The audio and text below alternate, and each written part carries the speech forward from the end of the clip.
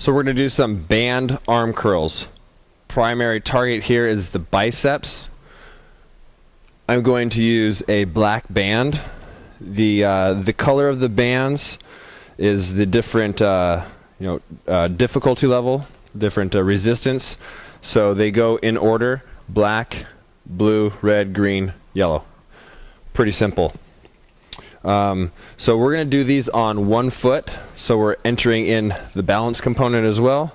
So palms facing forward, standing on one foot. Curl up, squeeze the biceps at the top, relax nice and slow. Up and squeeze, down nice and slow. Okay? So you want to stand nice and erect, shoulders back, head up, stomach in tight. Pause at the top Relax nice and slow. Um, try and do half your set on one foot and half the set on the other. Unless you're just doing two sets, then you might as well just do one whole set on one foot, one whole set on the other foot. But it can be mixed and matched anyway. There's your band arm curls.